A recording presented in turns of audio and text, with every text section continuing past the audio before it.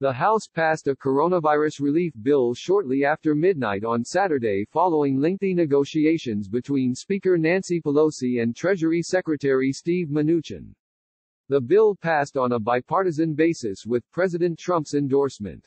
It will be considered by the Senate next week, although Senate Majority Leader Mitch McConnell cautioned that Republican senators will have to thoroughly read the 110-page bill before bringing it to a vote.